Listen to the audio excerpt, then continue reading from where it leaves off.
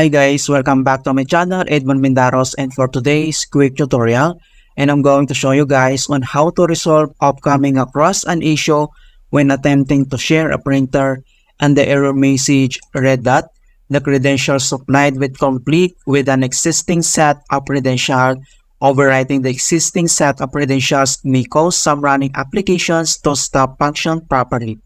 Alright, so without further ado, and let's go ahead. Ang next step ay dito lang sa start menu, so right click ka lang, and then click mo lang tong run. So dito sa run command, ay kailangan mo lang i-type yung command keyword na gpedit.msc. Ayan. So gpedit.msc and then click mo lang tong okay. Okay, so ito yung tinatawag na local group policy editor. And then next step ay dito lang sa local computer policy and then dito sa kanyang under sa computer configurations, kailangan mo lang i-select yung administrative template. So click mo lang ito. And then next step dito sa administrative templates and then kailangan mo lang select dito yung printers.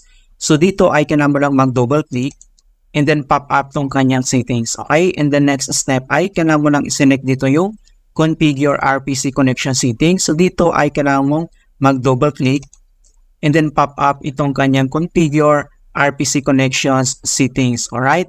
And the next step ay kailangan mo lang i-select dito yung enable. And then next, dito lang sa kanyang configure protocol options for outgoing RPC connections ay kailangan mo lang i-click tong arrow na to and then select mo lang dito yung RPC over name pipes. Okay? So select mo lang yan and then click mo tong apply and then click mo tong okay. And the next step ay kailangan lang natin mag-restart. Okay, so click mo lang tong restart para ma-fix yung problem. Okay, so ganun lang po kasimple kung paano natin i-fix ang credentials supplied complete with an existing set of credentials while sharing the printer.